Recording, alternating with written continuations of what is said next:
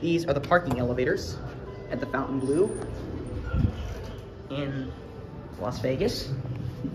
Let's go up to P6. I don't know if six is higher or not, but I don't really want to see. Here we go. I got music playing in here. At least it's not very loud. Why would they put a buzz in this elevator? That makes no sense. Pretty quick for six floors. Anyways, here we are. It's also got a little keypad too. So we'll just, we'll go down to one.